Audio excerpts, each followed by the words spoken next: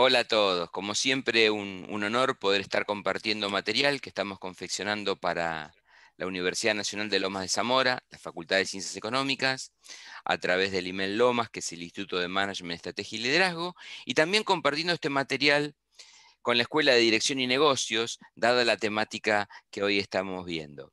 Para aquellos que no me conozcan, soy Gabriel Vázquez y tengo el gusto de estar compartiendo esta realmente clase, esta masterclass sobre patrocinio con Gerardo Molina. Yo creo que casi todos conocen a Gerardo, simplemente una muy breve presentación, después si él quiere nos agrega más, pero Gerardo es graduado de, de la Universidad Nacional de Lomas de Zamora, más concretamente de la Facultad de Ciencias Sociales, tiene realmente una trayectoria en lo que es el, marketing deportivo extraordinaria, donde fundó su compañía, donde de alguna manera a través de Euromédicas eh, participa activamente en todo lo que es el mercado deportivo de, América y del mundo y a su vez realmente tiene una participación docente muy importante, es profesor emérito de, de, de temas de marketing deportivo.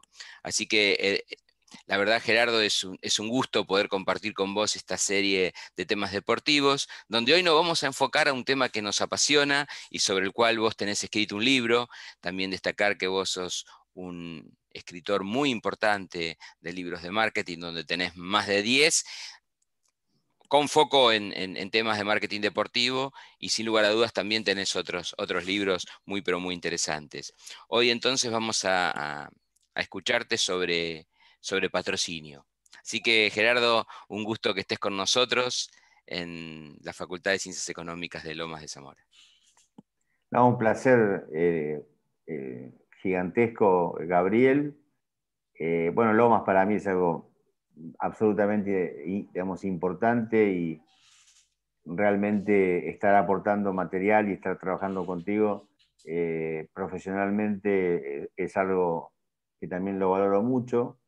Eh, hemos desarrollado ya otros encuentros eh, con, temas también generales de marketing deportivo, management, pero bueno, hoy vamos a enfocarnos, un, vamos a desviar el foco eh, de manera, digamos, con convicción para entender el, patrocinio deportivo, que es prácticamente un arma esencial dentro de los planes de marketing deportivo.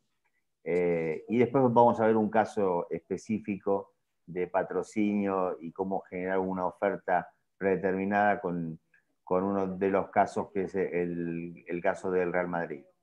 Así que en principio, digamos, eh, nuevamente agradecido por la invitación y bueno, espero que, que, que esta charla sea, sea, digamos, bienvenida para todos aquellos que, que de seguro van a poder trabajar en una industria deportiva que está creciendo en el mundo y también, por suerte, en la Argentina. Así que, eh, es, un poco el anhelo que uno tiene de que realmente las verdaderas prácticas, ingenierías comerciales eh, se desarrollen en el país, ¿no? en nuestro país, en la Argentina, ¿no? y en, el continente también fundamentalmente. Muchísimas, pero muchísimas gracias. Realmente eh, Vamos a compartir seguramente algo material muy, muy bueno. Así que creo que vamos a compartir pantalla para que vos nos puedas estar mostrando directamente el material. Ahí estamos. Ahí estamos. Dame un minutito que preparo para. Sí, como no. No hay problema. Pasarlo bien. Bueno, adelante, cuando, cuando gustes entonces. Perfecto. Eh, bueno, eh, muchas veces y en, los últimos 20 años, en el cual prácticamente podemos decir que la industria deportiva comenzó a desarrollarse en Latinoamérica eh, en profundidad, incluida Argentina, hubo siempre una mezcla entre marketing deportivo y patrocinios deportivos. Siempre, digamos, existió esta, esta como como este binomio de confusión entre el marketing deportivo y el patrocinio, reitero. Eh, en realidad, el marketing deportivo eh, es un plan que todas las propiedades deportivas, que son los clubes, las federaciones, las confederaciones, eh, los eventos, los torneos, los jugadores, es todo el área deportiva compuesta por propiedades que son deportivas y que justamente tienen derechos, derechos que pueden eh, fundamentalmente eh, ofertar al mercado a través, obviamente, de, una intención de seducción al capital privado, que ahí nos vamos acercando en, esa seducción hacia el patrocinio que, vamos a ir viendo, que es la conjunción de, del puente eh, entre, el, entre la empresa, entre las empresas y eh, las propiedades deportivas, ¿no? entre el mercado deportivo y el mercado, digamos, netamente comercial. Así que podemos ir avanzando, Gabriel, en la, en la siguiente, en, el siguiente. Aquí estamos. exacto. Entonces, digamos, ¿qué es el patrocinio deportivo? Diferenciado de qué es el, el, el marketing deportivo y, y, el patrocinio deportivo. ¿Por qué es importante tener en consideración para este abordaje el tema del, del branding? porque es importante de lo, que llamamos el, el, el, sponsor, sponsor engagement o el patron engagement, digamos, que es, que es un poco la, eh, la, el término que hemos encontrado como para resumir que no hay patrocinio si no hay un, un verdadero plan, que ahora vamos a ver, de desarrollo que, tenga un, una intención de activación y una intención de, profundizar vínculos con los hinchas y, con los consumidores de determinados deportes, ¿no? En el cual ahí sí el, mercado comercial y deportivo se unen y empezamos a encontrar ahí puntualmente eh, términos que, vamos en los próximos slides a, desarrollar como, como este, que es muy importante y vamos a ver el sentido del por qué. Eh, vamos a ver qué es el Data Driving Sponsorship, que, es el seguimiento indispensable que tiene que tener un acuerdo de sponsorship o patrocinios deportivos, como más les guste denominarlo. Y, vamos a ver eh, algunos casos de éxito, pero no, nos vamos a quedar en una segunda parte de la, de la charla con, con, con el caso del Real Madrid, en todo lo que implica su política de regional partner, de patrocinios deportivos en América, ¿no? Así que eh, estos son los puntos centrales de preguntarnos y de obtener respuestas que sean diferenciadoras y que entre sí van a consolidar lo que es una verdadera planificación y administración del patrocinio deportivo, entendiendo eh, y evitando confundir, digamos, eh, digamos, ciertos pasos que son, son previos a otros, ¿no? para darle un, orden temático y, y, encauzarlo en un proceso estratégico eh, a cada uno de los conceptos.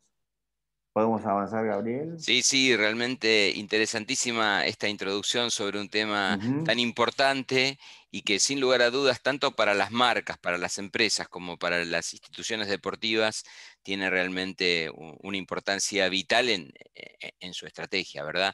Tanto yo diría en la estrategia de supervivencia de, de la entidad, porque me parece que, que genera una cantidad de recursos muy importante, como para las marcas, obviamente, para lograr sus objetivos comerciales. Así que encantado de, poder escucharte. Ya vamos pasando. Perfecto.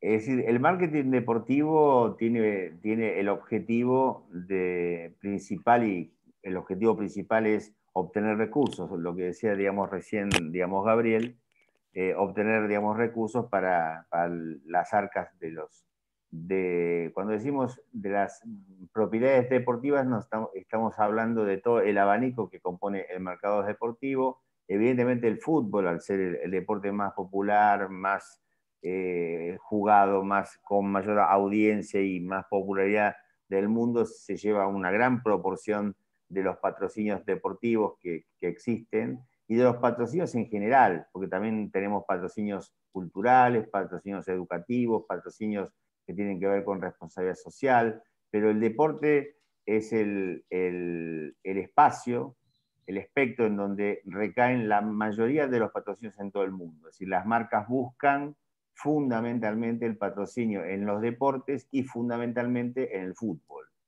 Entonces, el marketing deportivo eh, tiene, eh, digamos, una eh, transversalidad eh, y, una cantidad de tareas que las hemos desarrollado en, una charla previa y anterior que hemos tenido también con Gabriel en la Universidad de, Lomas, eh, pero fundamentalmente marcar que el marketing deportivo eh, tiene fundamentalmente la influencia central del, del, ADN, digamos, por decir así, eh, que vamos a construir a través de los patrocinios específicamente deportivos que podemos pasar a la siguiente, Gabriel. Perfecto. Eh, Gerardo, nos están escuchando personas bastante amplias, ¿no? Obviamente, generalmente pueden ser personas que le guste el marketing, otras que le guste el management en general,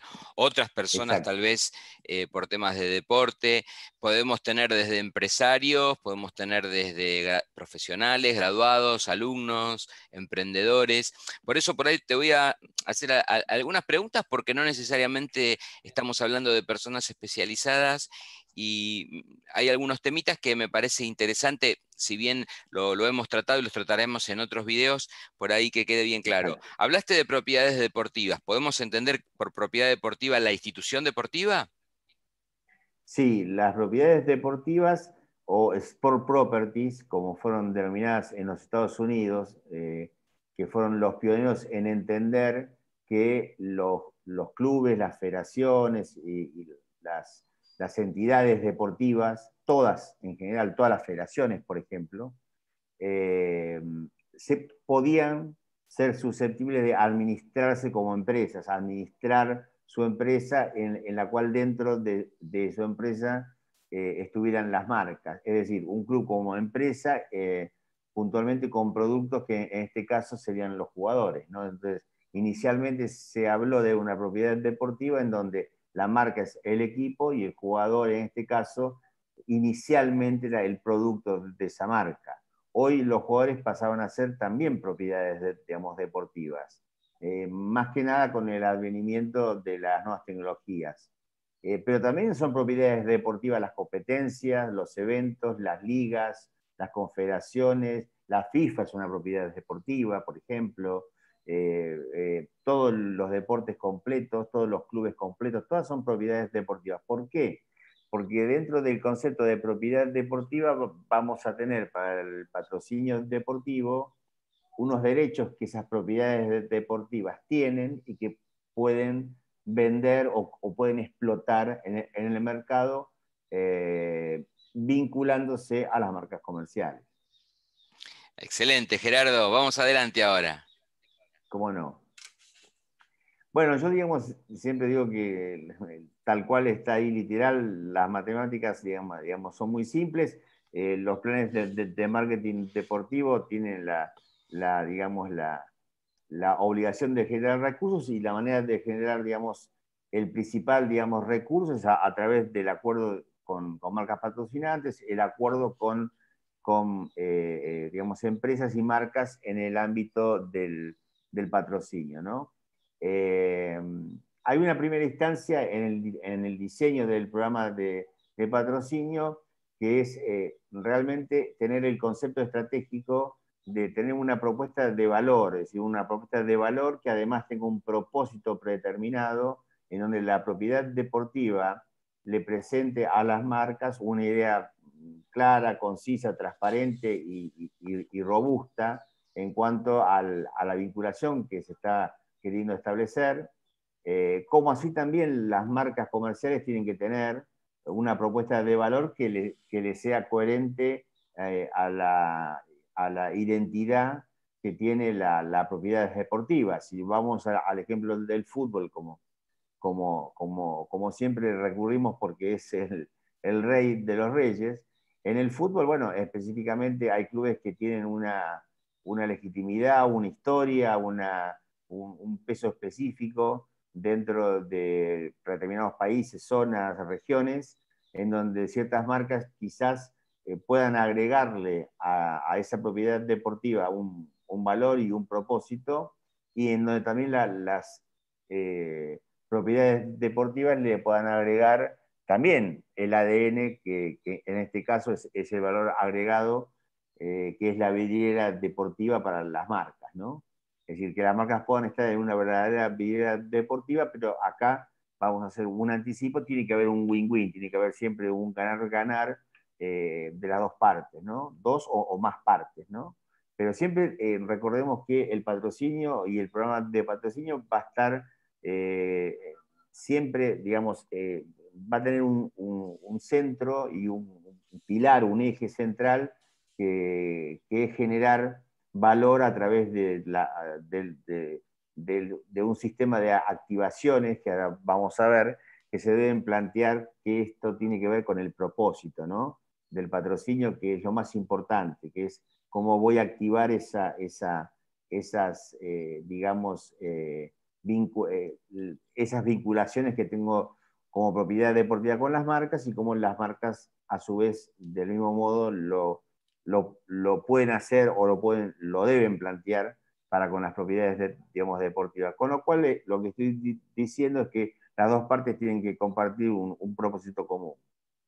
Entonces, el marketing deportivo en realidad eh, actúa en, buscando la conexión fundamentalmente eh, a través de varios conceptos centrales que con el tiempo hemos delimitado, que es eh, conectar la pasión, porque la pasión existe, pero no siempre termina eh, conectando la pasión con, las marcas, o no siempre las marcas que van a, estar patrocinando a una propiedad deportiva logran embuirse de esa pasión, del entretenimiento que en sí genera eh, por ocio, por entretención o por alta competencia los deportes, que eso tiene una adrenalina muy importante, eh, el, valor específico del deporte como, modo de vida, de vivir, de sentirlo, eh, en donde las marcas se sienten cómodas porque logran de alguna manera, al vincularse con, como yo digo, con la vidriera deportiva, logran hacerse cada vez más cotidianas, ¿no?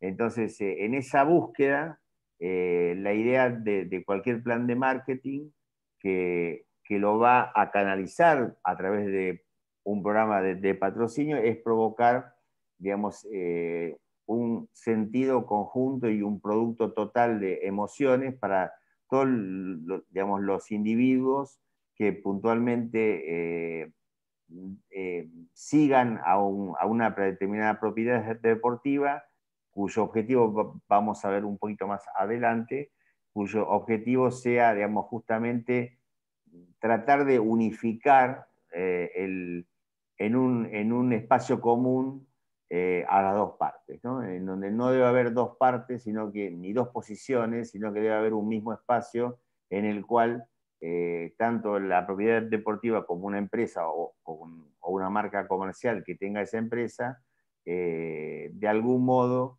se una a través de acuerdos, que ahora los vamos a ver, que los planes de marketing los llevan a cabo a través del patrocinio deportivo.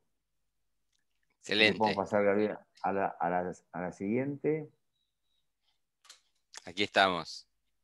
Sí.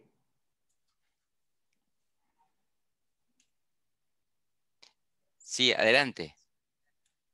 Bueno, eh, sí, eh, no, pensé que nos, nos, estabas escuchando. Entonces, bueno, puntualmente, claro, acá tenemos un tema puntual que es, eh, hoy en realidad las, eh, las propiedades deportivas eh, sin marcas no podrían llevar a cabo la, la competencia e incluso su tarea comercial en predeterminados en determinados aspectos, digamos, que tienen que ver, como decía al comienzo, digamos, Gabriel, con el sostenimiento económico, ¿no? Hoy eh, uno de los principales eh, eh, ejes centrales del mantenimiento económico de las propiedades deportivas provienen del patrocinio, digamos, deportivo.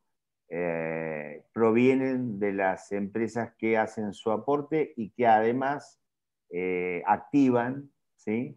Eh, un sistema eh, conjunto de eh, actuaciones comerciales y, de, del uso de ciertos escenarios en donde pueden interactuar la propiedad deportiva, la marca, con eh, los, clientes de cualquier espectáculo, digamos, deportivo, eh, que por lo general son masivos y que atraen, digamos, digamos pasiones eh, y hay que, como decíamos antes, entenderlas para ver cómo la propiedad deportiva y la marca con el patrocinio pueden alcanzarlas, ¿no? y de un modo siempre diferente y de alguna manera diferencial. En este sentido, eh, tiene que ver la, propuesta creativa que se lleve eh, desde una activación. ¿no? Eh, por eso, digamos, la idea central de un patrocinio deportivo en el cual se unen el mercado, digamos, netamente, reitero, deportivo con el mercado comercial, en donde esta unión debe ser vista como una sociedad, digamos, eh, y debe ser vista como puntualmente una unificación de, criterios para ir llevando el programa de, patrocinios adelante con éxito, en donde no, reitero, no hay dos partes, sino una parte que más que patrocinador, hoy el concepto es asociarme, ¿no? el, concepto de, sociedad en, digamos, en común.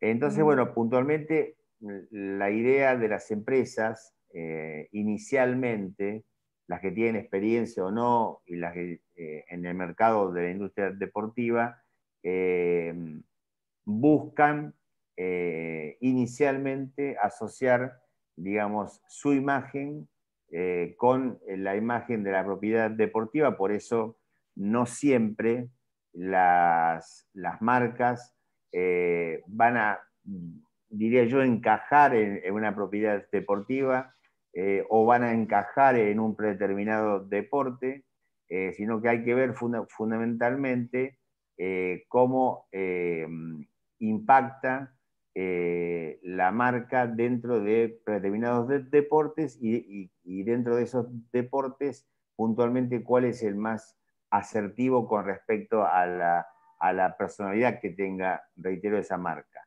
Como también la propiedad deportiva tiene que ver con, con evaluar la imagen de la empresa con la cual se va a asociar, eh, lo cual es un factor muy importante porque de alguna manera eso va a hacer que eh, la popularidad tanto de la propiedad deportiva e indirectamente de la marca crezcan, ¿no?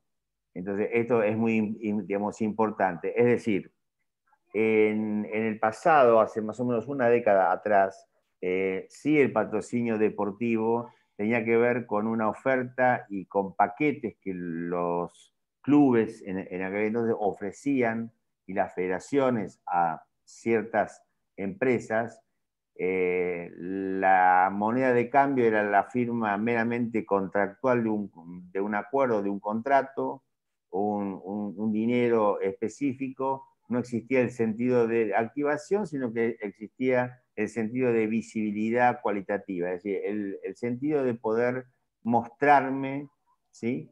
desde la propiedad deportiva, desde, por ejemplo, equipos de fútbol eh, en, su camiseta, o, de hockey, o, de rugby, o del deporte de, de básquetbol, de vóley, en la camiseta, eh, central, con lo que muchos entienden y llaman main sponsor, central en, la camiseta, como en las adyacencias de, del estadio, bueno, la, publicidad y, eh, eh, bueno, hoy tradicional y digital, eh, la visibilidad a través de los medios, todo lo que es la mediatización de poder estar en un equipo y conjuntamente con la competencia que ese equipo tiene, la marca estar presente en, en muchos de esos medios ¿no? y redes sociales.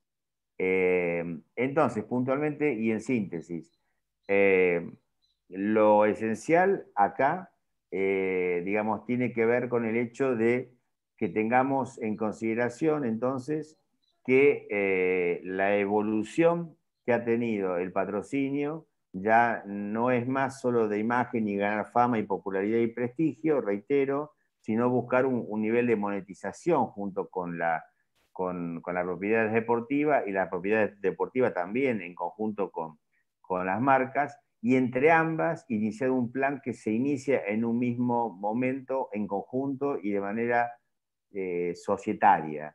eh, gran cambio actual, cada vez más, más, más acentuado en, esta última, en, estos, últimos años, en donde ya hemos perdido solamente el hecho de, trabajar los patrocinios de modo cualitativo, sino que son trabajados, trabajados cual y cuantitativamente, en donde las dos partes entienden que es la mejor fórmula del éxito que pueden tener ambas. La verdad que estamos hablando de, temas que tienen que ver con la pasión, son apasionantes estos temas.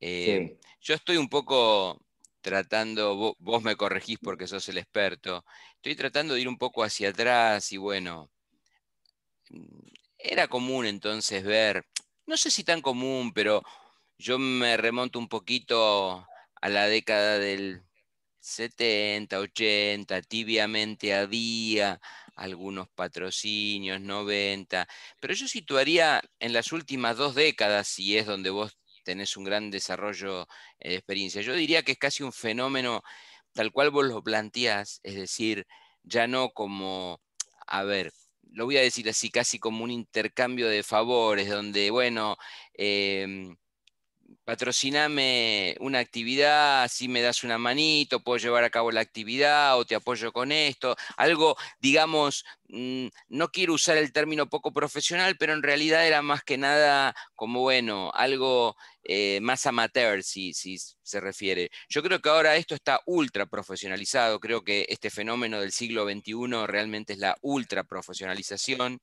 Eh, me parece, lo, veo de esa manera, y ahí es donde veo que ya dejamos de, esos pequeños acuerdos casi de favor para ir a esto que vos decís que las empresas y las propiedades deportivas son verdaderos socios, ¿no? No sé si es correcto, pero ¿cómo lo ves vos desde tu especialización y, de estar actuando, dos décadas creo que tenés actuando en este mercado? Sí, exactamente, y sí, es tal cual lo, lo describís, es decir, más que nada en Latinoamérica, eh, en el cual estamos unos pasos más eh, atrasados, esta en realidad, eh, lamentablemente, y tengo que usar esta palabra que no es linda, ¿no? pero todavía sigue existiendo de alguna manera esa falta de profesionalización, carencia de planes de, marketing deportivo y programas de patrocinio deportivo concebidos como vos lo marcabas con el concepto que lo has entendido perfectamente de sociedad entre lo que es una propiedad deportiva y ya no un club, y una marca que en realidad ya no viene a colocar dinero, sino que viene a buscar un verdadero interés mucho más transversal.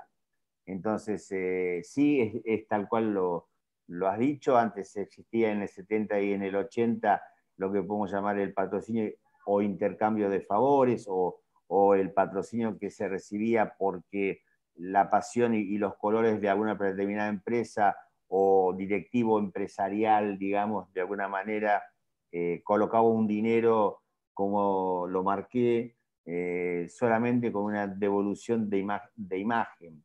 Es decir, un patrocinio deportivo o una asociación de, vamos a decirlo así, de dos marcas, una, deportiva y una comercial, eh, digamos, es fundamental eh, que lo veamos como algo, digamos, eh, natural el hecho de que eh, no sea realizada con activaciones.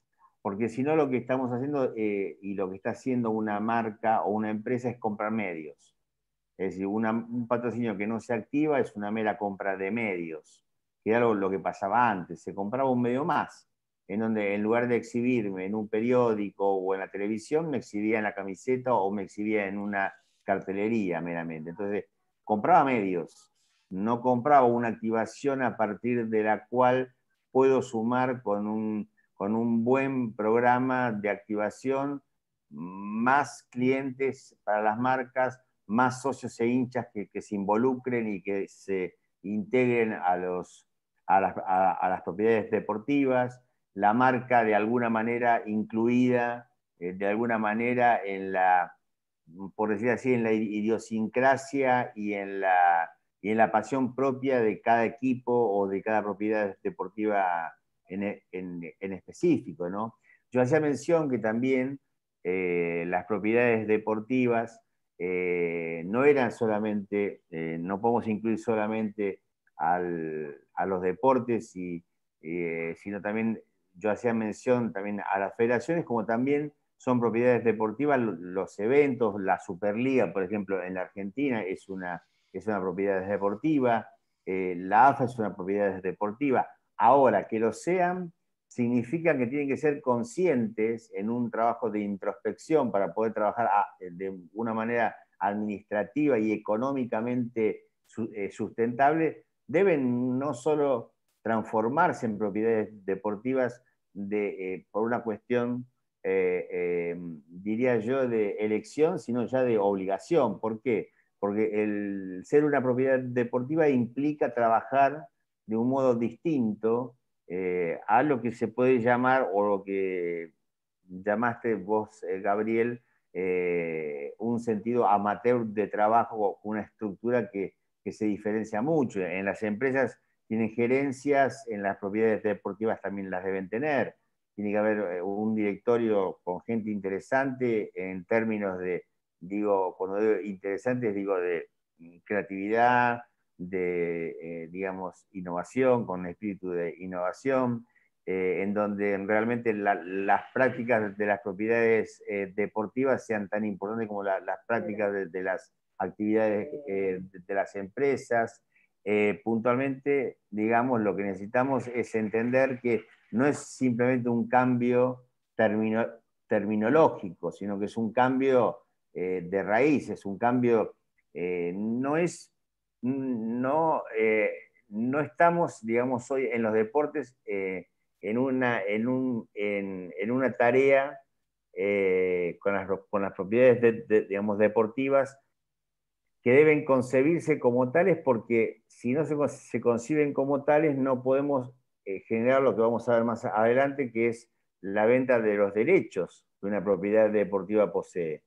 Es decir, una propiedad deportiva tiene y es dueña de ciertos derechos que los va a diseminar de una manera predeterminada para poder ofrecerlos a través de un programa de patrocinio deportivo a las marcas y las marcas van a saber qué están comprando, pero en realidad tienen que comprar derechos deportivos que, tengan, que estén ejercidos y que estén implementados por una estructura que, eh, eh, digamos, profesional, eh, y no por estructuras con falta de, profesionalismo e incluso con falta de infraestructura, con falta de tecnología. Hoy, en realidad, cualquier propiedad deportiva, un club, tiene que disponer y tiene que trabajar, digamos, puntualmente, no solamente el área de marketing, que, es clave porque es de donde se originan los recursos, sino que debe trabajar en función de que todo lo que proponga con sus derechos deportivos eh, van a tener que tener un sustento en su capacidad de poder activar, si, eh, y para poder activar quizás debo tener buenos jugadores, debo tener una, economía sana dentro de la propiedad deportiva o del club, para que no, nos demos cuenta mejor.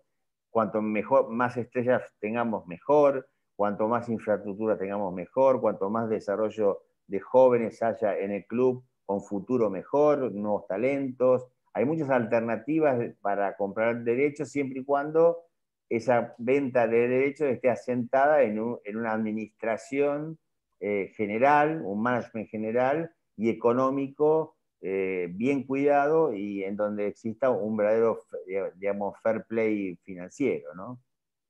Excelente. bueno, esto como, como, un, como una, un poco una ampliación de que dos partes no se pueden unir si, una está renga, ¿no? O si una está en, un, en una atmósfera eh, de, eh, con una visión no empresarial y, la otra parte tiene una visión netamente eh, ya orientada en lo empresarial y no quiere comprar más hoy medios como si antes compraba, ¿no?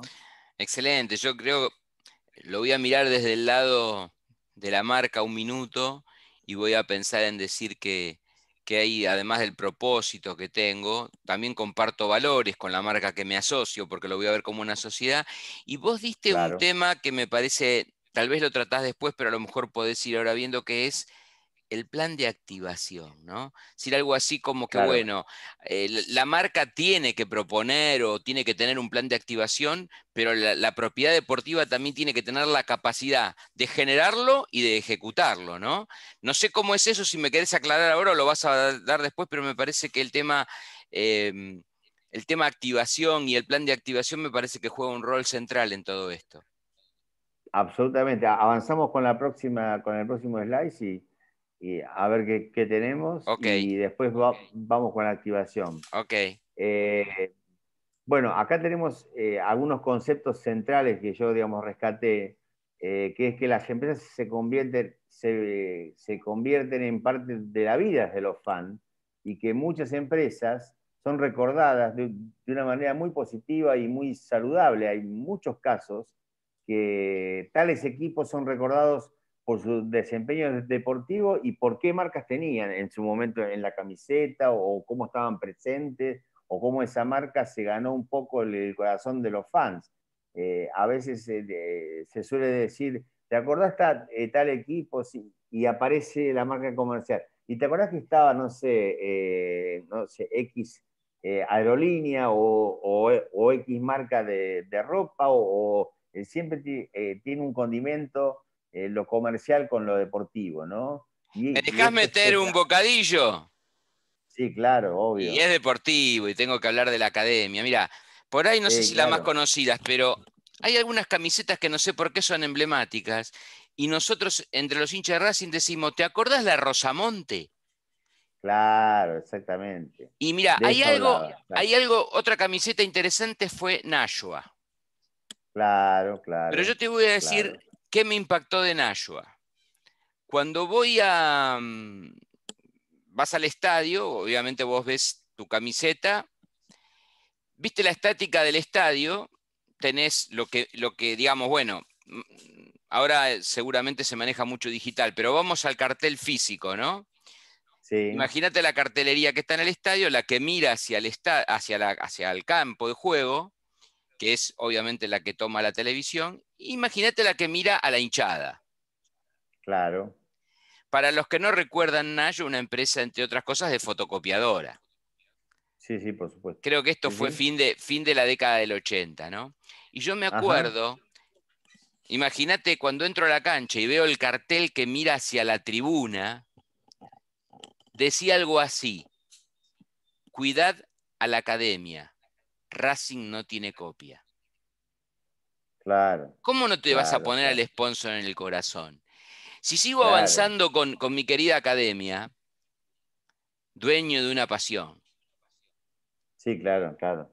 La pasión tiene dueño. Muy buena campaña. Dueño de una pasión, la pasión tiene dueño. no ponían la marca al principio, pero estaba, estaba muy en sintonía con la estrategia de, la empresa, sponsor, en este caso eh, Banco Provincia, pero qué lindo para el hincha de Racing verse dueño de una pasión, la pasión tiene dueño, ¿no?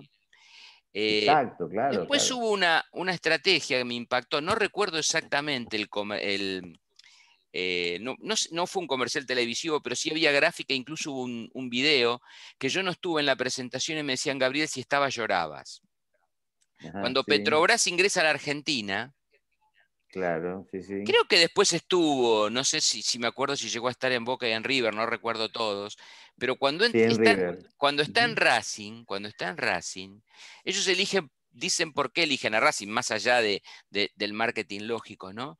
Pero también te conmueven porque hablan de, obviamente son una empresa de energía brasilera, pero se asocian con un club argentino y obviamente Racing tiene los colores de la selección argentina, es un buen ingreso al, país.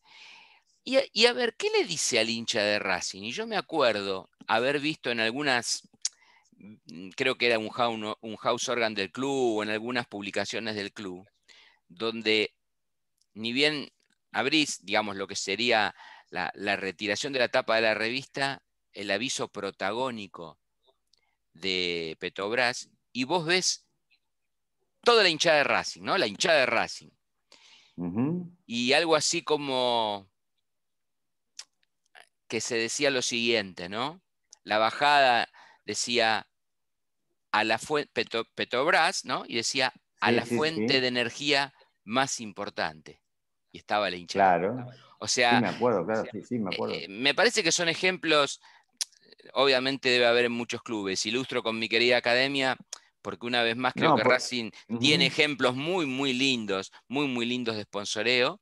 Y, quería ilustrar, no sé, vos tendrás mucho más y me corregirás, pero quise mostrar esto porque me parecieron ejemplos excelentes donde realmente hay una muy buena asociación y donde eh, se le habla al hincha, más allá de la proyección que pueda tener la marca, y obviamente el hincha, como vos bien decís, este, recuerda con quién o con quién salió el campeón, ¿no? A veces decís, uy, salí campeón con Topper, o estaba Sky en, la camiseta. A lo mejor ya no existe más la empresa, pero lo seguís recordando. O como eh, el otro día yo te decía en el caso del Depor de La Coruña, este, con Feiraco, digamos, ¿no? Con Feiraco, sí, sí. Impresionante. Así que discúlpame este, que me metí un poquito en el tema, pero quise, quise meter al hincha y, también dar una visión profesional desde el lado de las marcas y desde el lado del hincha decirte cómo me impactó. Pero bueno, el que sabe esto sos vos.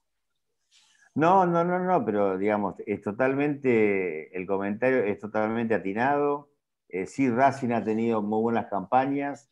Eh, en realidad, eh, todo patrocinio comienza con un concepto estratégico, ¿no? Comienza con un concepto estratégico que mm, termina de alguna manera cristalizándose en muchos de los ejemplos que diste, ¿no? Este es un poco como el primer paso eh, conseguir el, concepto estratégico es, básico y poder explicar, eh, digamos, eh, a través del branding de la marca, en este caso del branding del, club y de, la, y de, lo que significa, lo que vos también marcaste muy bien, cuando uno dice personalidad, identidad, está hablando de, las creencias, los valores, la legitimidad que trae Racing como River, como Boca, como tantos equipos en el mundo, que, tienen una gran hinchada y que tienen una gran pasión que, digamos, que fácilmente se detecta, ¿no? Entonces, eh, sí, por supuesto, para las marcas, esto es un valor, eh, digamos, agregado importantísimo que ya trae la marca en su ADN, con lo cual eh, se hace mucho más fácil la, tarea. Creo que de aquel entonces, de esas campañas que rescataste, que son, son el primer paso de la activación. Es decir, el primer paso es ver eh, puntualmente eh, si eh, de alguna manera el, engagement que llamamos, si, la devolución o la voz del hincha fue favorable, se avanza en una activación de ese concepto estratégico que, es vertido inicialmente y hasta de alguna manera lo, lo, trabajamos como de testeo, ¿no? Pero si eso avanza, por supuesto va a haber mucha gente en el Banco Provincia desde Racing, mucha gente en la Petrobras desde Racing cargando nafta, eh, etcétera, etcétera. Es decir, el ejemplo y la, idea justamente es esa, es que la, repercusión sea naturalmente feliz, digamos, ¿no? Es decir, que, exista una felicidad de decir, bueno, esta marca está en mi club, está en mi equipo, eh, que en realidad la, eh, podemos hablar de cientos de activaciones que se pueden realizar pero hiciste una marcación muy importante porque marcaste conceptos estratégicos que, a vos te llegaron como hincha, que es lo que verdaderamente se buscan y que hoy en esa sociedad esos conceptos, esos conceptos estratégicos se van uniendo, ¿no? Es decir, cada uno dice, bueno, ok, mi fan, mis hinchas, mis socios, eh, mis abonados, depende de los países, eh, les encanta esto. Eh, la, marca ¿Qué puede traer para abastecer esta necesidad y estos deseos de, mi fan?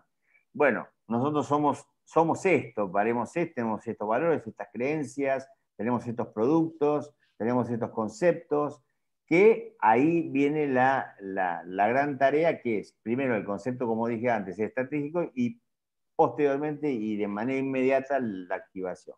¿Te acordás en la década del 90 eh, que, bueno, eh, eh, digamos, la televisión por cable, creo que en la Argentina, fines de la década del 80 ya algo había, pero había cables muy regionales, y en la década de 90 irrumpen fuerte algunos, y aparece, bueno, cablevisión fuerte, multicanal, y entonces yo me acuerdo que estaban, digamos, eh, de alguna manera. Yo ya tenía un, abono, pero básicamente venían los cambios de marcas, la agresividad, y me acerco a uno de los puestitos para suscribirme y creo que me preguntan, eh, bueno, ¿cómo se enteró? Y le digo, no, yo quiero tener multicanal porque acaban de ser sponsor de Racing. Claro, Mi identificación fue muy fuerte. Yo no podía, Cablevisión estuvo en otro club. Yo quería tener el cable que, me estaba apoyando a mí, ¿no? Eh, no le busquemos racionalidad a esto, esto es pura emocionalidad, ¿no? No, no, no. Evidentemente es esa, e, esa emoción y esa pasión en algún momento se convierte y se transforma en raciocinio en el momento que uno efectúa desde la pasión una compra de un producto que también tiene que tener, eh, digamos, una, referencia de calidad, por ejemplo, ¿no? Lo podemos decir así, o, darle beneficios al hincha, eh, que sí es atraído con la pasión, pero que después racionalmente puede entender que, que además no solamente eh, comparte la alegría de, tener el producto que, viste a su equipo o, que está vinculado al equipo, sino que además le da le da un buen servicio o, uno disfruta de un buen producto. Al fin y al cabo, el patrocinio deportivo, el objetivo central es, hacer felices a, los clientes, hacer felices a los hinchas, hacer felices a todos los públicos que intervienen del lado de la empresa y del lado de, las propiedades deportivas. ¿no? Así que bueno, avanzamos con el próximo y... Bueno, acabamos, bueno, acá vemos uh, una cancha americana con, algunos patrocinios en, estadios, digamos, ¿no? Tremendo. Lo mejor, lo mejor distribuido que se puede para que todos tengan una buena visibilidad, en donde vemos que también el estadio y el campo está, tiene el nombre del Citibank, en el cual es eh, los estadios, lo charlábamos antes con, contigo, eh, Gabriel, hoy todos los estadios de todos los deportes de Estados Unidos y gran parte de Europa, todos los estadios tienen nombres de las marcas. las marcas quieren estar con su nombre en el estadio, que, los campos de juegos tengan su nombre, y es una práctica cada vez más extendida en todo, el mundo, ¿no? Eh, y con una demora increíblemente insólita hasta ahora en, en Argentina, ¿no? Y en Latinoamérica ya se ha empezado por México, ya ha empezado a hacer algo Chile, ha, hecho algo Colombia y Argentina está bastante demorada. Igual las acciones en general que tienen que ver con patrocinio de estadios y, eh, o como se suele decir, de, campos de, de, juego, sigue estando bastante alejada de los planes de patrocinio deportivo, en donde dentro de los derechos que se ofrecen, eh, a las empresas no, se suele incluir, por ejemplo, ¿no? El tema estadio. Increíble, para mí es clave esto. Increíble, sí, sí, totalmente. Yo creo que, que, es, una asignatura pendiente gigante de que tengamos estadios que además la marca pueda cuidar como propios, a ver, que pueda mejorar la, infraestructura, que pueda mejorar el servicio, que pueda mejorar, eh, digamos, grandes áreas de los estadios, y no solamente de, los estadios centrales, sino de, los campos de entrenamiento, eh, ampliación de campos de entrenamiento, escuelas de aprendizaje que también patrocinadas por la misma marca. Se puede trabajar un, proceso mucho más eh, macroeconómico en donde la marca se involucra absolutamente y totalmente con el club al, darle el nombre. Y bueno, y esto trae grandes beneficios para, para ambos, pero especialmente yo creo que para propiedades deportivas esto es, le trae un bienestar, digamos. Gerardo, hace más de 20 años que nosotros lo hablamos, incipientemente hace más de 30 que ya decíamos tendríamos que aplicarlo, pero hace más de 20 que no tenemos ninguna, pero ninguna duda de, de los rights, de los derechos eh, de nombre del estadio. Es, es increíble que, que se pierdan estas oportunidades. La, las propiedades deportivas, las instituciones, es increíble. Es decir, la Argentina como Latinoamérica tiene la misma hoy con, con, la tecnología, con la digitalización, con todos los procesos de innovación tecnológica en general, Internet y con, con toda nuestra vida atada a los smartphones y todo el mundo, y todo el mundo conectado, eh, digamos, de, permanentemente todo el tiempo, digamos, conectado, nos damos cuenta que puntualmente estamos cada vez más cerca de que se puedan hacer acciones de este tipo. Si nos ponemos a comparar eh, lo que vos marcabas muy bien del comienzo del cable, que fue el comienzo de la gran transformación de la industria deportiva, porque a través del cable empieza a aparecer las señales enteramente dedicadas a transmitir deporte, como fue el nacimiento de ESPN como el primer canal en transmitir, eh, digamos, todo el tiempo, digamos, deporte, cuestión que no, no existía en ninguna televisión del mundo. Y ahí fue el primer gran proceso de internacionalización y de globalización del deporte, en donde las marcas ya van llegando a, nuevos mercados a través de la televisión, por el simple hecho de estar en un país y poder aparecer en 200 más.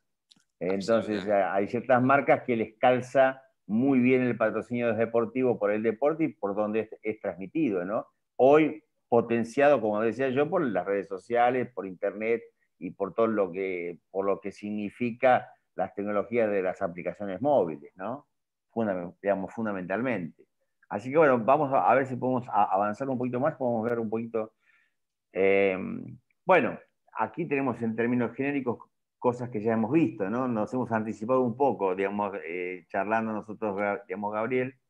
Eh, dos, digamos, para que los lenguajes a, veces se vayan empezando a acoplar y no, no tengamos grandes cambios de, de, conceptos tan rápidos, a veces usamos el tema de entidades, empresas, instituciones, propiedades deportivas. Lo adecuado es, como hemos visto, propiedades deportivas, pero bueno, podemos entender que cuando hablamos de empresas e instituciones que, digamos, eh, generan contenido y valor añadido a cualquier tipo de, de beneficio que se genere mutuamente entre las empresas, estamos hablando de lo que charlábamos antes, ¿no?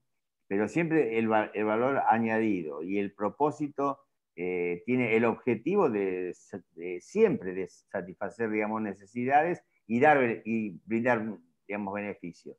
Es decir, eh, el hecho de que la, tanto el club, por ejemplo, que recibe un main sponsor, tienen que trabajar juntos por dos cuestiones. Primero, satisfacer eh, necesidades que existan eh, entre todos los públicos que, el Big Data, que toda la data que se tenga en la propiedad deportiva, en el club como en la empresa, todo el público que es la Big Data que, les pertenece, que les es propio, al cual en principio con un acuerdo uno lo va a fidelizar a ese público y después tiene que ir en una segunda fase que es fidelizar y conseguir nuevos, nuevos adherentes, eh, pero siempre con el objetivo obviamente, de monetizar, pero brindando beneficios, siempre.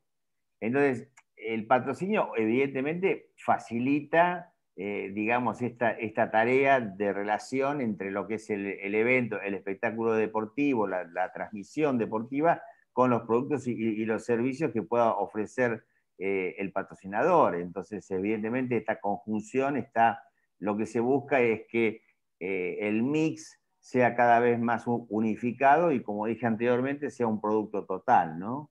Que no, que no esté dividido en dos, sino que sea uno solo, que uno entienda, eh, como en tu caso, como vilumbrabas que, Racing tiene que ver tanto con, con las empresas que mencionaste, eh, lo que llamamos activación es el hecho de que las marcas ofrezcan un beneficio, un producto y un servicio de, manera conjunta y unificada eh, a un determinado público meta específico que uno, digamos, lo desarrolle a través de, del programa de, patrocinio, que es parte del plan de, marketing, ¿no? El patrocinio es un punto central dentro del plan de marketing, dentro del cual, por supuesto, hay una cantidad de servicios eh, que después se van a, ir, digamos, de, alguna manera, eh, ofreciendo a través de, estos, de estos eh, em, derechos deportivos que hacía mención antes también, ¿no? Que después lo, vamos a ver con el caso del de, Real Madrid.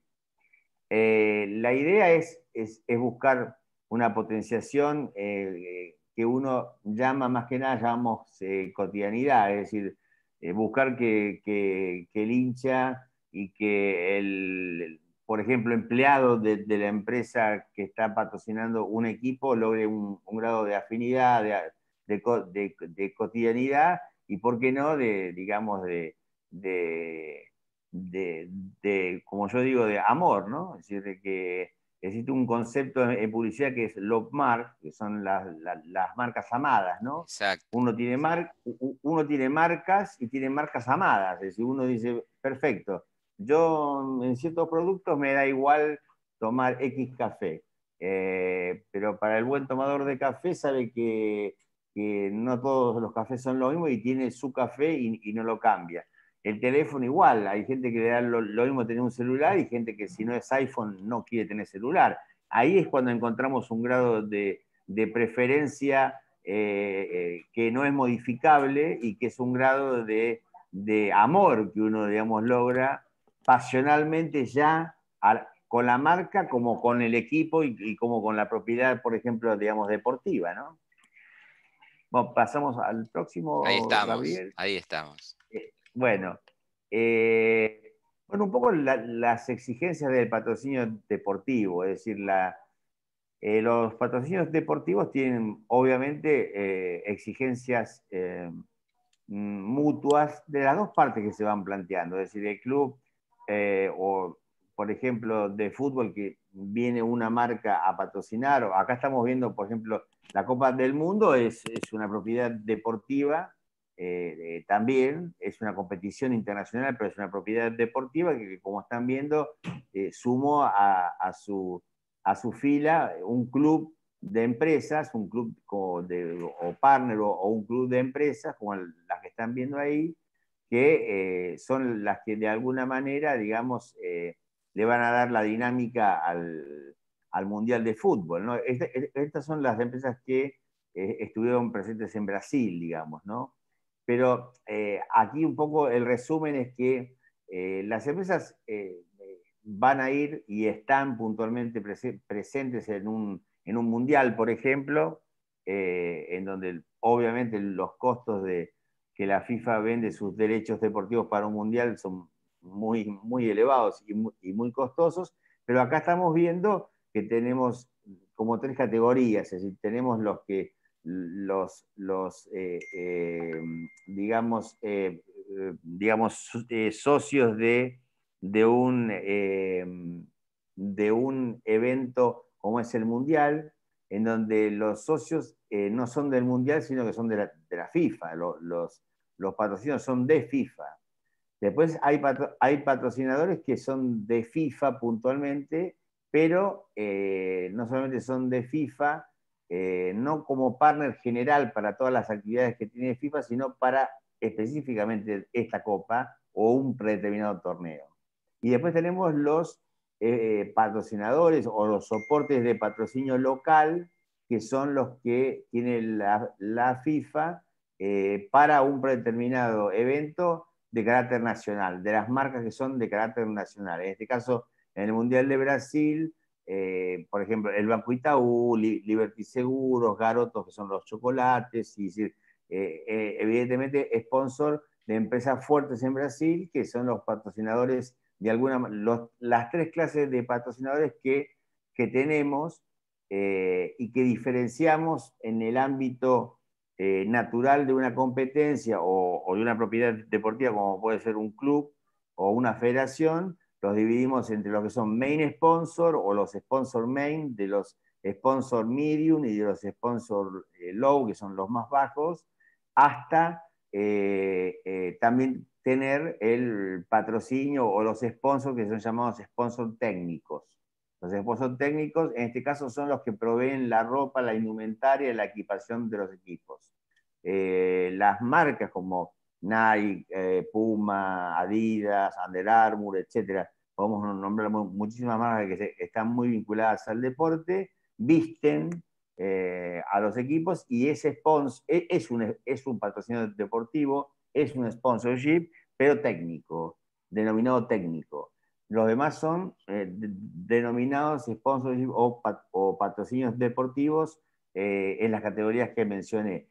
En el caso de una Copa del Mundo se dividen de esta manera, en el caso de que pueda ser una federación o un club, en la, categoría de lo que podría ser alto, medio y bajo, digamos, ¿no? Son los tres niveles en los cuales pueden comprar derechos y tienen costos diferenciales, por supuesto, y activaciones también eh, diferenciales en función de los aportes económicos. ¿no? Eh, en la medida que van creciendo y si van teniendo éxito eh, dentro del plan de marketing, se determina la activación que el programa de patrocinio va a desarrollar y en la medida de crecimiento alguno puede ir escalando, ¿no? puede ir escalando en la, en los niveles de patrocinio e ir comprando nuevos derechos si, si, fundamentalmente les ha ido bien a ambos y fundamentalmente a la empresa patrocinadora. ¿Podemos seguir con el otro, Gabriel? Perfecto, acá estamos. Bueno, entre los atributos centrales, vamos a ver entonces en concreto que un patrocinio, un patrocinio deportivo termina siendo una, e, e, es una propiedad, es una propiedad en sí. Cuando logramos unir y, decimos, bueno, hemos firmado un acuerdo, lo que hemos consolidado es una propiedad. Tenemos, tenemos una propiedad en, común, ¿sí? Que tenemos que cuidar como una propiedad, como puede ser una casa, en, la cual viven dos familias y tienen que tener en claro que tienen una propiedad en común y que hay que, de alguna manera, embellecerla, cuidarla, eh, nutrirla, ponerlos, eh, tenerla limpia. Eh, bueno, podemos encontrar, darle seguridad, tener calidad de vida, etc. Es una propiedad. Em, obviamente que el atributo central también de un patrocinio deportivo es que establece y constituye de hecho una estrategia de comunicación.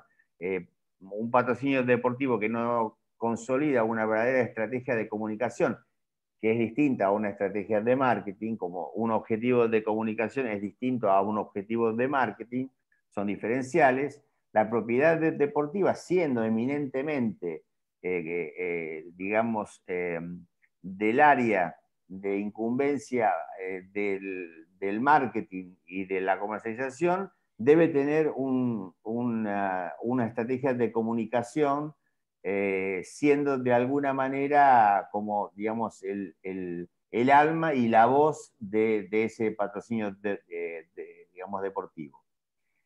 Después, digamos, eh, un, patrocinio fundamentalmente facilita una comunicación, obviamente, entre las marcas y sus clientes, porque evidentemente, como lo, vimos antes, eh, esa, vinculación hace que todo sea mucho más eh, susceptible de, ser, de ser, digamos, concebido como una unidad en común en donde los dos se van de alguna manera transformando en uno, ¿no? Entonces es mucho más fácil comunicar eh, eh, la marca, eh, digamos, hacia sus clientes actuales y, los que tienen, por supuesto, per se por, sus ventas y porque son clientes.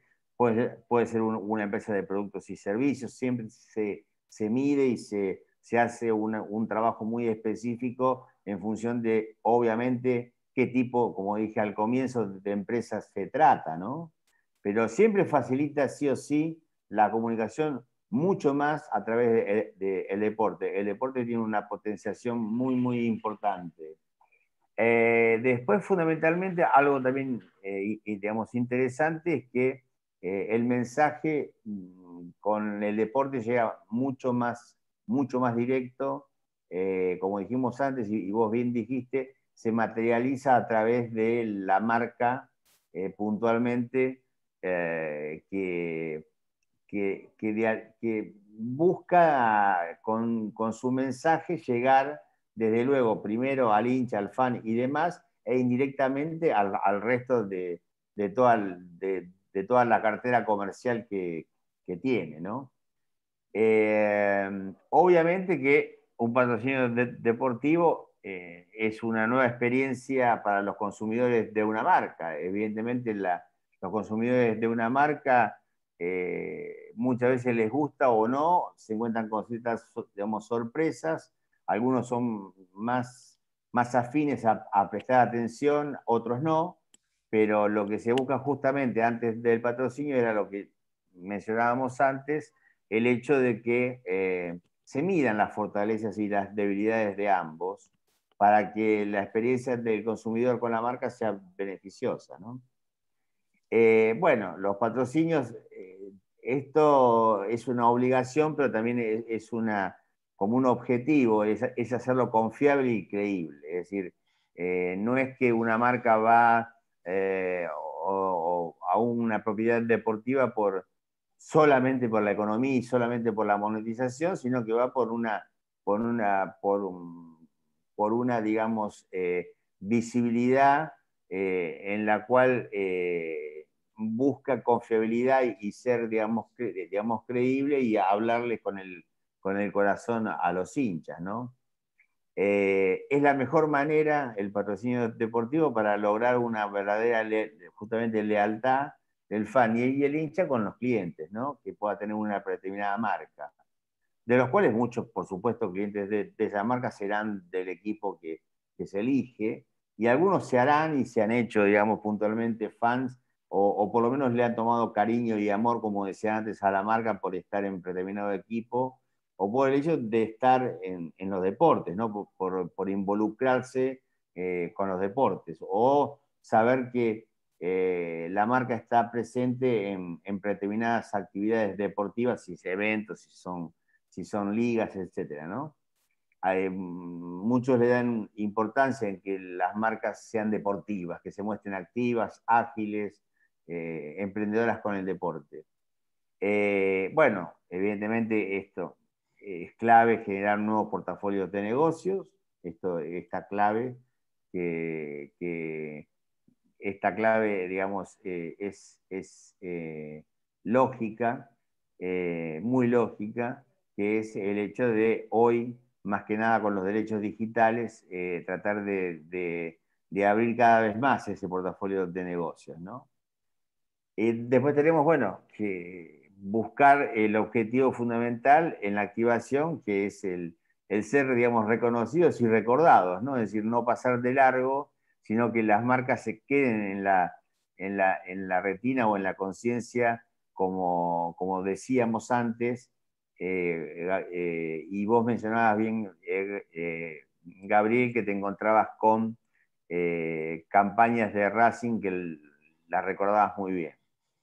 Y por último, el patrocinio deportivo tiene que ser medible, es decir, tiene que ser medible en términos de cómo nos está yendo, en términos de mediciones, en términos de control, en términos de auditoría, eh, para ajustarlo, para ponerlo cada vez más eh, customizado en función de, los objetivos que el programa de, de patrocinio de ambos se ha planteado y ver en esa medición si puntualmente eh, está siendo redituable o no en todo sentido. ¿no? Excelente. Seguimos adelante. Sí, vamos adelante. El patrón engagement, podemos seguir adelante. Esto lo hemos, bueno, indirectamente lo, hemos hablado, vamos a seguir.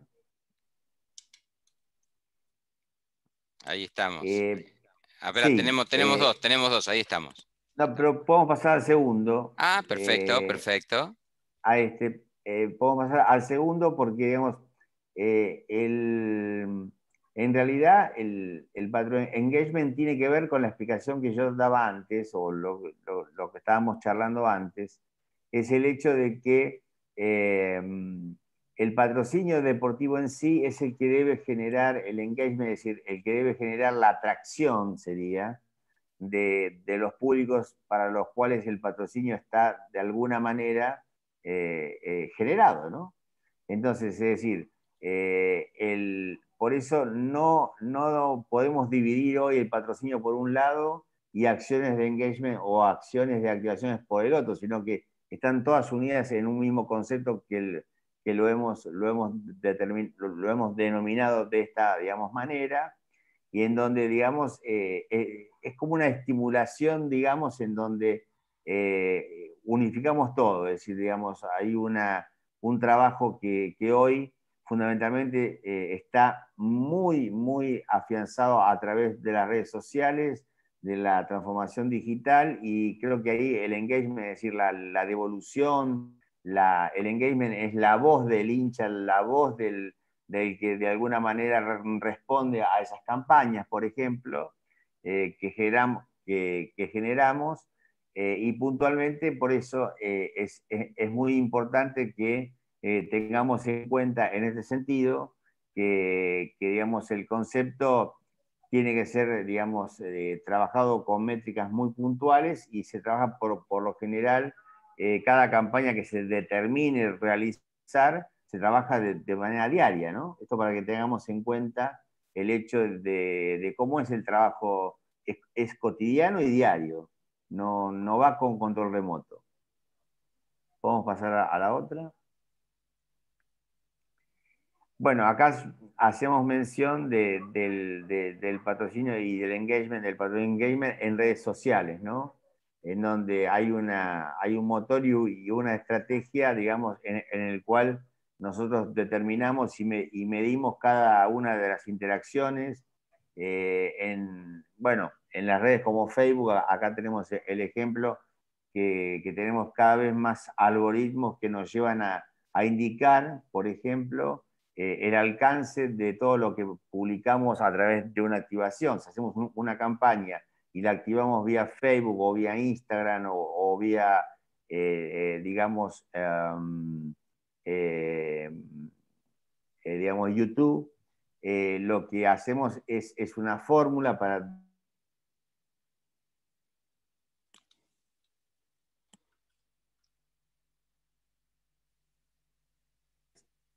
existe un concepto y una, una métrica, que es el engagement rate, que, que, tiene que ver con ver esas interacciones en un periodo de tiempo de las publicaciones que hicimos para activar la marca, cómo fueron dando resultados a través del tiempo. Entonces, es decir, eh, bueno, acá está un poco la fórmula de, de, cómo se realiza, que se divide el resultado entre el total de seguidores de una empresa con su red social y finalmente se, multiplica por 100 para encontrar eh, un algoritmo y una métrica de resultado, tanto positivo como negativo. ¿no? Eh, entonces, esto nos permite evaluar algo importante para las empresas, que es cómo está concebida su marca en las redes sociales y cómo ir avanzando en, ese sentido.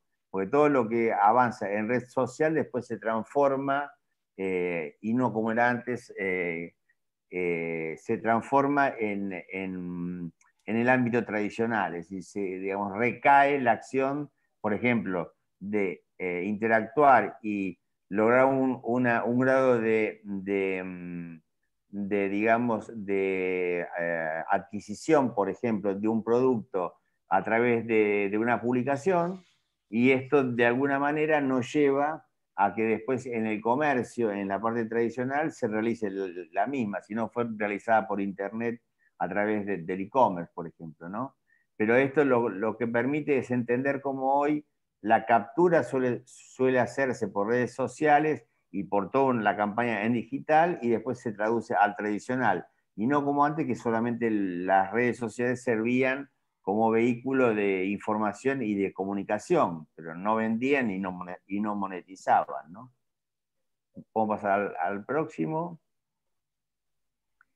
Eh, bueno, para esto acá tienen algunas, algunas métricas de cómo es imposible lograr un, buen, un buen engagement, un buen patrocinio con engagement, si no tenemos, por ejemplo, un sitio sólido y poderoso eh, si las propiedades deportivas no tienen un sitio sólido y, poderoso, y las marcas también, eh, ¿por qué no tener uno en conjunto, como muchas marcas lo tienen o están presentes de una manera muy fuerte con el patrocinio en toda la, esfera del ámbito web?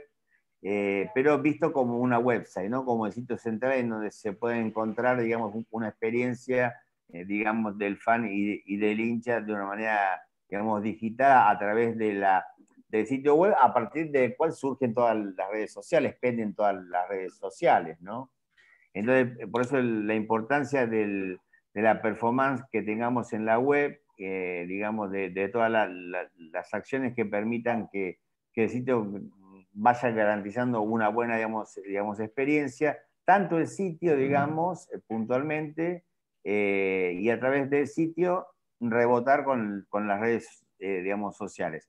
Si hacemos una campaña puntualmente de, patrocinio deportivo a través de, redes, siempre la, plataforma eh, de interacción lógica y la plataforma de branding que usamos es, es la web, es el sitio web, ¿sí? Muy bien, Sí, yo no te quiero interrumpir mucho para que no, no se haga extenso y escucharte, pero evidentemente, claro, eh, antes hablábamos de fenómenos físicos, hoy está todo integrado, ¿no? Es decir, hablamos, incorporamos todo a, nuestros planes de marketing. perfecto. Entonces, acá, acá vemos un poco la importancia de que el branding, que es la construcción en conjunto del proceso de, diseño, creación de, una marca, de una propiedad deportiva y de la marca, exista un branding en común entre la propiedad deportiva y la marca comercial, digamos, ¿no? Eh, en donde deben, deben existir, digamos, eh, esencialmente cinco pilares, ¿no?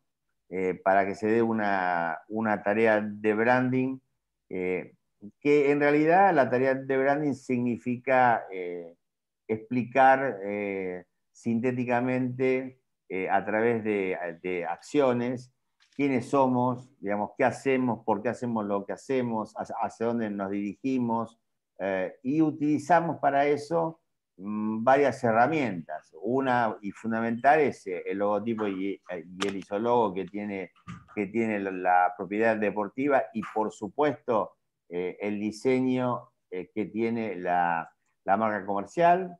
Después tenemos la tarea de marketing que las dos llevan a cabo, es el, programa de la propiedad deportiva y también el programa que tienen las empresas de marketing, que van a patrocinar en las cuales debería existir en las dos para una buena estrategia de marketing, eh, justamente, para no, voy a ser redundante, eh, tanto las, propiedades deportivas como las marcas tienen que tener una estrategia bien definida, si no, no se, no se va a poder consolidar un buen acuerdo de patrocinio. Y buscar fundamentalmente con el branding una verdadera identidad, en donde haya una entidad compartida y una entidad consolidada entre, entre, entre las dos partes, ¿no? Es como que en realidad eh, el branding es el centro de, digamos, que, que hace circular, eh, que genera un, círculo virtuoso en, donde vamos utilizando cada una de estas herramientas de, de, comunicación y, digamos, digamos, globales de marketing, en donde lo que sí encontramos acá como fundamental es, es el hecho de que sin branding es imposible avanzar en una buena estrategia, eh, un, buen marketing aplicado, una buena presencia del logo, una identidad que sea percibida, una publicidad que sea efectiva y un diseño que sea tan importante de la marca comercial como el logo de la propiedad deportiva. Perfecto. ¿Adelante? Sí, sí, vamos, seguimos. Bueno, eh, acá es un poco lo que acabo de decir, digamos, ¿no? que para gestionar un patrocinio deportivo se debe generar una marca, establecer claramente un discurso, destacar y transmitir en forma eficaz los valores en los que creemos, eh, lo que queremos compartir con las audiencias, construir un vínculo sólido, exponer eh, una comunicación con el espíritu que, sostiene a la marca puntualmente, eh, y de esta manera vamos a, poder crear un, yo diría un imaginario, como me gusta exponerlo, que integre, digamos, las mentes y, los corazones de, los fans para que estén más en contacto con la marca patrocinante y con el club, en las cuales digamos, se debe eh, integrar puntualmente todo en un mismo, en un mismo carril, ¿no? en una misma ruta. Eh, el branding en realidad entonces, en fin, se enfoca en definir y en administrar esa estrategia de la cual hablábamos, que permite una, una gestión que le da consistencia al patrocinio, el branding, eh, crea valor, genera un mejor posicionamiento que es el que buscamos eh, y ayuda fundamentalmente con mostrando el propósito que tiene una propiedad deportiva y una marca, creo que ayuda a sostener y a imaginarse eh, digamos, de, alguna manera la idea de llegar con más claridad a la preferencia y buscar la lealtad de los fans, ¿no? Eh, y fundamentalmente eh, buscar algo que es importante con el, con el, branding, que es el hecho de la coherencia, ¿no? Es decir, uno cuando se vuelca en un branding conjunto, en, el caso del patrocinio, en donde tiene que, digamos, exponer hacia dónde van con esta unión muy claramente, eh, sin que se noten que hay dos partes, hay una, hay una cuestión central que es hacer una promesa eh, conjunta a través de lo que uno expresa que es y, y cumplirla. Es decir, se debe hacer una promesa que debe ser cumplida, porque si no, ahí no se genera lo que hablábamos antes, que es justamente el hecho de, construir un, vínculo sólido, sino que se rompe el vínculo, ¿no? Si hacemos una promesa y, no cumplimos, rompemos el vínculo. Y la comunicación genera ruido. Entonces, por eso tenemos que trabajar muy, muy bien el branding en las propuestas de, patrocinio deportivo. La marca es una promesa y tiene que cumplir esa promesa. Y esto es válido tanto para la, la, identidad deportiva, la propiedad deportiva y obviamente este, la marca que, se asocia, ¿no? En este caso. Exactamente, exacto. Bueno, pasamos a la otra vez que tenemos para... Bueno, acá son, eh, digamos, tips, eh, digamos, fundamentales eh, que no tenemos que, cometer. Es decir, acá, acá como que, mm, a ver, quise transmitir la, negatividad de, errores que se suelen, que surgen debido a errores, ¿no? Que, se pueden pagar muy caros en, una mala estrategia que uno puede realizar. Uno, siempre habla de lo que, de lo que es eh, coherente hacer, de lo que se debe hacer, de lo que se hace, pero nunca se suele explicar de qué pasa cuando uno no hace las cosas bien. Eh, cuando el logo es, eh, es deficiente, cuando un producto como decíamos antes, no, cumple expectativas, cuando el proceso de gestión entre ambas, ambas partes es ineficaz. Entonces, es decir, el branding se hace estas preguntas. Eh, eh, hay que a veces en periodos muy cortos de tiempo, esta industria deportiva es veloz, es día a día, no es una empresa que tiene ciertos tiempos, los tiempos biológicos de los tiempos biológicos de, una propiedad deportiva son, son totalmente distintos a los de una empresa, con lo cual eh, se trabaja eh, contra reloj casi siempre, eh, semanalmente, no solo por, la competencia en sí, por la mera competencia. Entonces los periodos son muy cortos para corregir falencias. Con, como hacía mención, con la digitalización y con las, nuevas tecnologías, lo que sí logramos es que al volcar gran parte de nuestras activaciones y gran parte de, las campañas en digital, eh, cualquier falencia es más rápido de, corregir en un periodo corto que si hago un comercial para televisión, por ejemplo, en el cual ya lo hice y si, no funcionó tengo que hacer uno nuevo y tengo que armar otro set de filmación, buscar los protagonistas. Esto en digital no pasa, digamos, no tenemos un tiempo para, corregir lo que puede ser de nada, de un, día para el otro, de 24 horas. Eh, después hay una herramienta importante que, vos la conocés muy bien, Gabriel, que son las neurociencias, que lo que, lo que trabajamos es, también los centros de emoción del cerebro que regulan la capacidad que tenemos para estar más felices, para estar, tristes, trabajar la, pasión vinculada no solamente a, estar contentos, sino también a, estar mal, a estar tristes, ¿no? Entonces, ¿y qué capacidad tenemos de tomar decisiones con un patrocinio para corregir, por ejemplo, este tipo de cuestiones cuando se, se, generan, digamos, ¿no?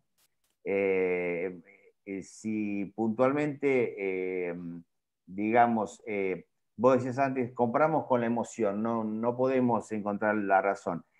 Lo que hacemos con el branding es intentar dentro de un programa de patrocinio entre la marca y, la propiedad deportiva, eh, con la emoción dirigir, dirigirla hacia una acción en donde la razón te va a, dar la explicación de lo que la emoción te generó.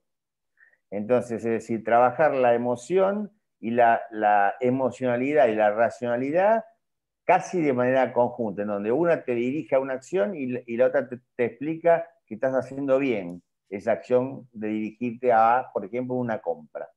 O a, decir qué buena, qué, qué, buena, por ejemplo, esta campaña eh, con, no sé, con los jugadores del, con todos los jugadores de Racing, por ejemplo, ¿no? Entonces, por eso, con el branding vamos a, lograr que, el patrocinio sea mucho más claro, mucho más eh, eficiente y fundamentalmente vamos a lograr la consistencia, una coherencia, transparencia y, claridad en la propuesta de valor que estamos ofreciendo de una manera sostenible en el tiempo. Ahí estamos.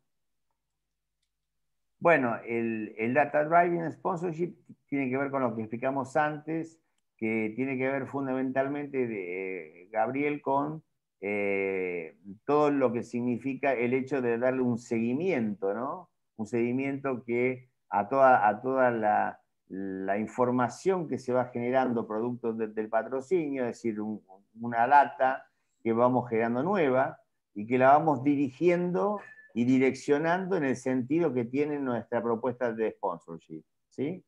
Pasamos al otro. Eh, acá tenemos las ventajas, digamos, de, y la medición del el, retorno de la inversión, que es el ROI.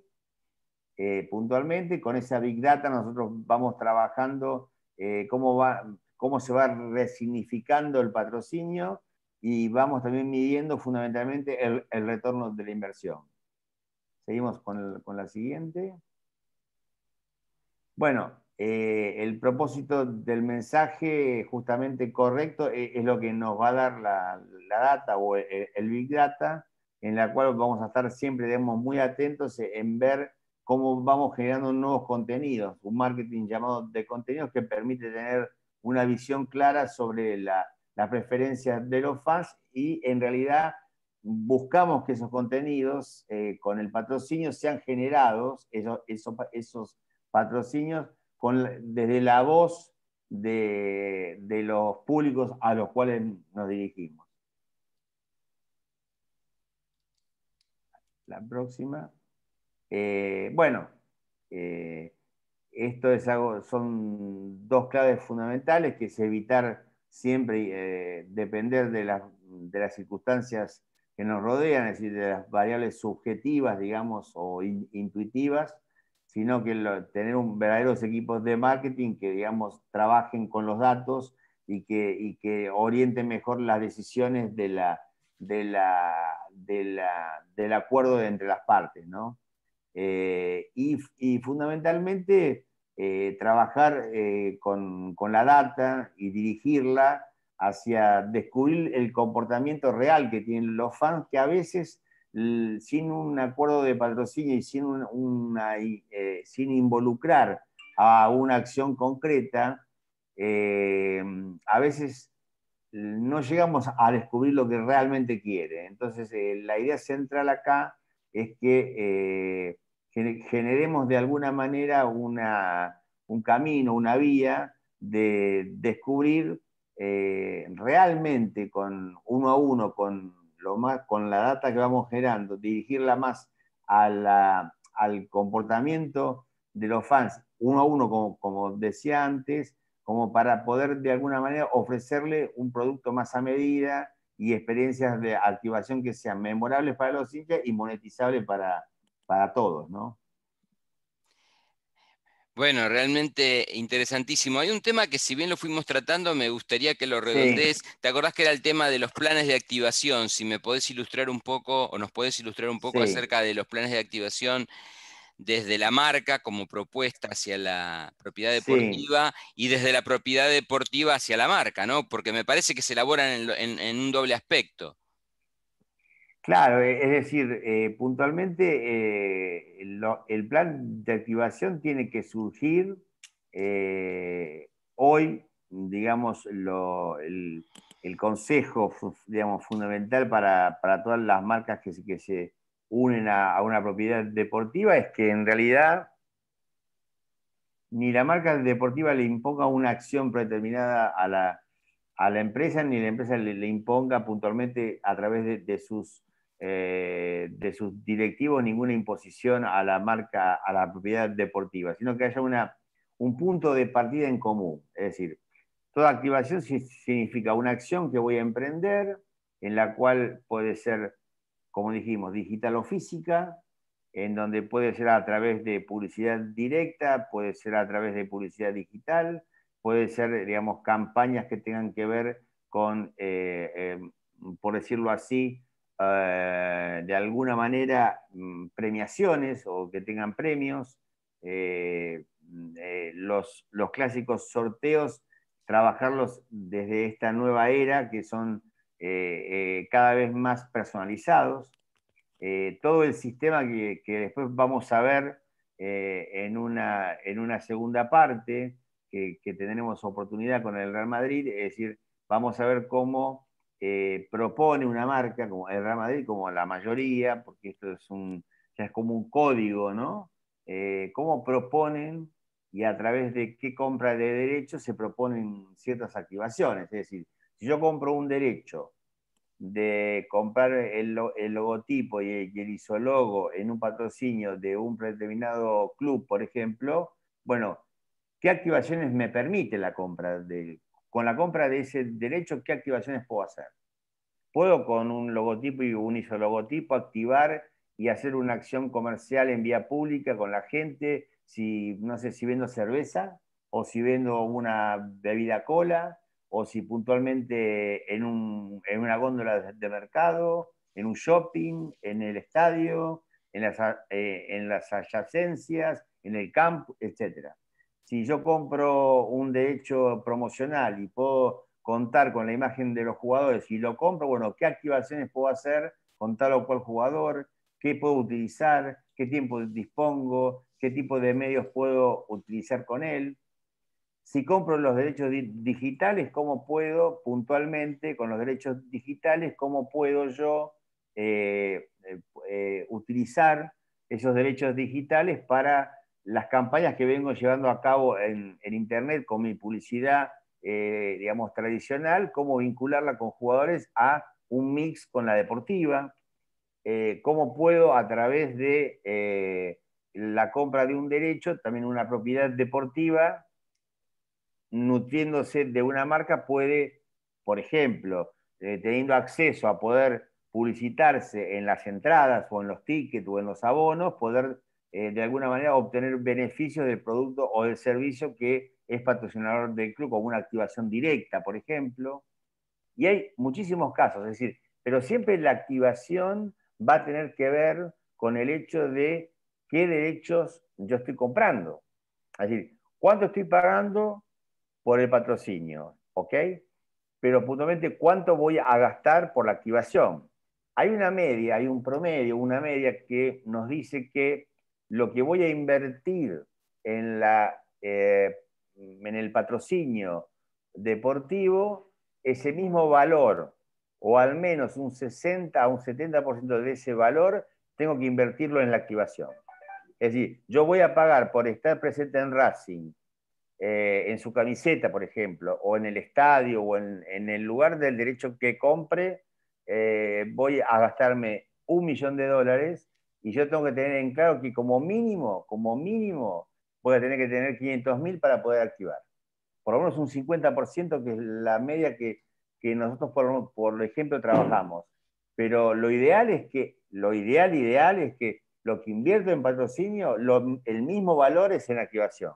Si puse uno en patrocinio para comprar el, el derecho, tengo que poner uno para activar. Es decir, esta es un poco la proporción que se maneja en Europa. Pero cuando decimos activación estamos diciendo vamos a buscar ganar dinero, vamos a, buscar con activación, sí, imagen, fidelidad, llegar al hincha, pero el hincha es una persona. Es decir, antes que hincha es persona, que sueña, que compra, que, tiene movilidad social, que tiene también valores y una identidad. en realidad, primero, lo que yo siempre digo, en un patrocinio tenemos que ver qué personas tenemos como públicos en general, ya digamos per se. Y después avanzar puntualmente sobre el hecho de la activación en concreto. Así que e, esos son los temas centrales que, que en una segunda parte que, que, tendremos, los veremos ya específicamente eh, focalizados eh, en una marca, como es el, Real Madrid, y puntualmente lo vamos a ver focalizado en cómo compro un derecho y, qué me permite activar con la compra de ese derecho. Excelente, Gerardo. Sí, esto da para muchísimo. Realmente eh, yo he disfrutado esto de una manera enorme. Casi no quise interrumpirte, me tiento, pero bueno, la clase magistral es tuya y seguramente, bueno, los que nos están escuchando también seguramente han disfrutado. Y vamos a tener, obviamente, varias partes, pero va a haber una segunda parte donde vamos a ver un caso práctico de mi querido Madrid que también nos va a ilustrar muchísimo. Así que, bueno, eh, eh, en nombre de la facultad, de, la Escuela de Dirección y Negocios y, del IMEL Lomas, Instituto de Management, Estrategia y Liderazgo, realmente muy, muy contento de haber compartido un espacio que además es de, es de mucha pasión por lo, lo que está vinculado, más allá de de, lo grato para mí que es dialogar con vos sobre cualquier tema, en especial, bueno, obviamente marketing y, deportivo. Así que te, agradezco mucho, eh, vamos a concluir aquí y, ya seguimos conversando. Hasta luego. Chau, chau. Conversamos en privado. Muchas gracias. Ok, ok.